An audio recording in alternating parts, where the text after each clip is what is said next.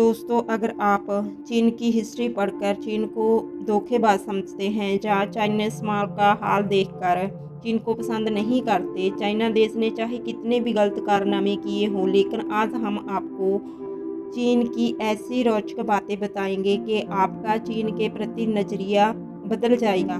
Fact number one, चीन के अमीर लोग दूसरे को अपने बदले में जेल भेज सकते हैं। चीन में खरीदने की क्षमता अमेरिका से ज़्यादा है। दुनिया की सबसे बड़ी अर्थव्यवस्था चीन में है। चीन में अंग्रेज़ी बोलने वाले लोग ज़्यादा हैं।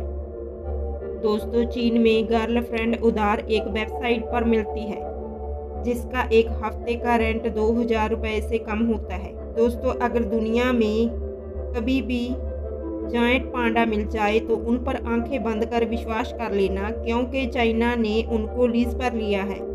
उनके बच्चों पर भी चाइना का ही अधिकार होता है। इनमें एक ऐसा स्टोर है जिसे इक्का के नाम से जाना जाता है, जय दुनिया का सबसे बड़ा फर्नीचर स्टोर है।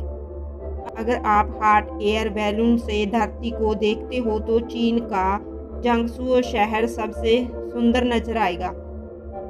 चीन 2025 तक यू पाक के बराबर 10 शहरों का निर्माण कर देगा। चीन में चिड़िया के घोंसले से सूप बनाया जाता है, इसे एटेबल वर्ल्ड नेस्ट सूप कहा जाता है। इसकी कीमत डेढ़ लाख प्रति किलो है।